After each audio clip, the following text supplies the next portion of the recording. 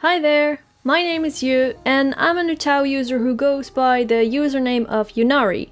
I've been an UTAU user for over 3 years now, so I figured it would be nice if I made some tutorials for people who are relatively new to the UTAU community. Seeing how most UTAU tutorials out there right now are rather outdated. So I hope I'll be able to teach you guys something, and yeah, I hope you enjoy. In this tutorial I'll be showing you how to install the UTAU program. First we're gonna have to change some settings in our PC.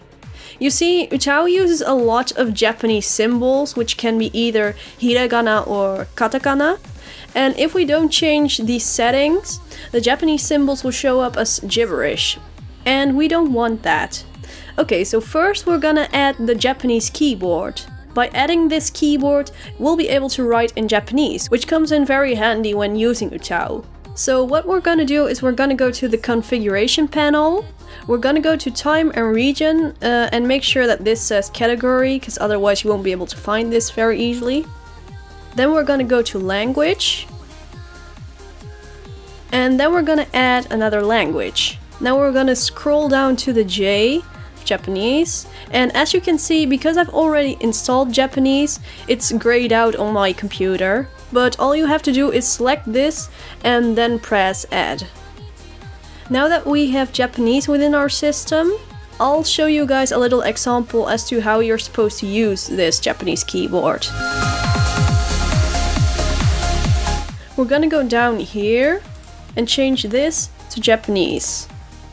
Now as you can see it says like a little A here and when we try typing stuff it's still like in the Roman alphabet so what we're gonna do is just click here and as you can see it now has changed to this uh, Japanese symbol which is the A symbol and if we try typing text now and press enter we have written some Japanese hiragana.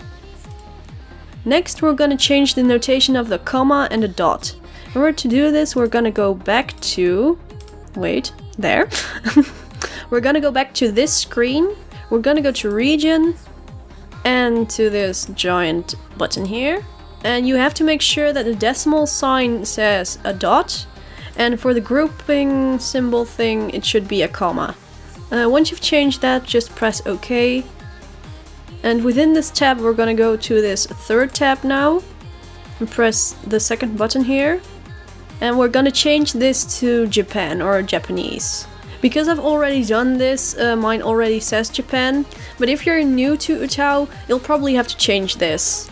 Your computer will probably ask you to reboot your PC, which you can just do now, seeing how we're done with changing the stuff we needed to change.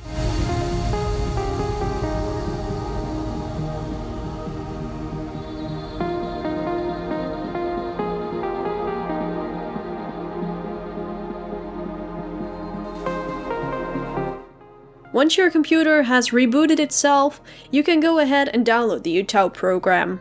What you have to do is go to this website, and I link this down in the description below, so go click on that. And we're gonna download the first link. This is the most up-to-date English version of UTAU. If you wish to download the Japanese version instead, just click the second link. Once you've downloaded and extracted the zip file, you'll have a little exe file. So just go ahead and install that.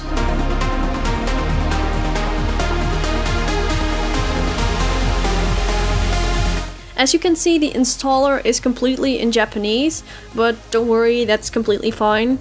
I'm guessing it's asking you whether you want to install it the regular way, because of the R, or if you want to install it manually. And to be honest, I would go for the regular way, because then at least you won't be able to fuck up and stuff, so yeah. But because I've already installed UTAU and everything, I won't be doing this. And that's it for the installation of UTAU. In the next tutorial I'll be going over the basics of UTAU uh, regarding the interface as well as some basic terms that are commonly used within the UTAU community.